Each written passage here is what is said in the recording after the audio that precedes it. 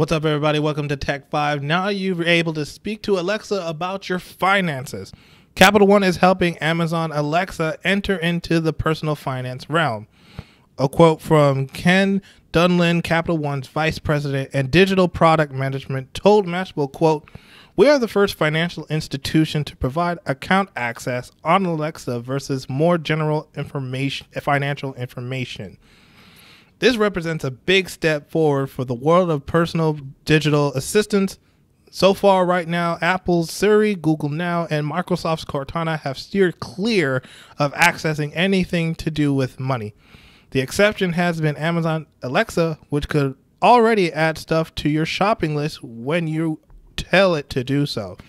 Even so, this that was a step or two removed from your actual cash the Capital One integration dives right into the Do Re Mi. So basically, what's going on is starting on Friday, current uh, Capital One customers will be able to add the Capital One skill via the Amazon Alexa app.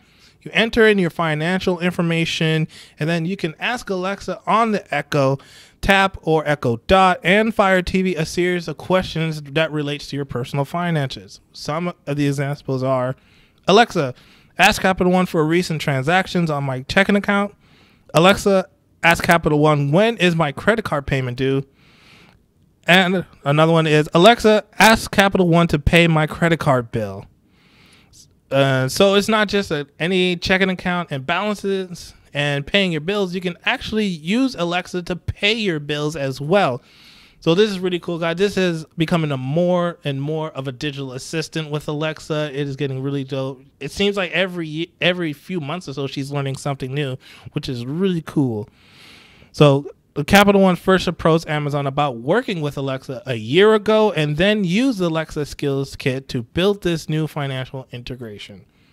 But there are obviously personal privacy and security concerns relating any of digital bank and account access.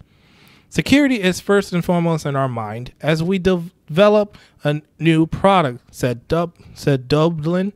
Sorry if I messed up your name. He explained that the Capital One account info will remain encrypted so that not even Amazon can access it. So all your concerns and your worries about your security and your privacy is squashed.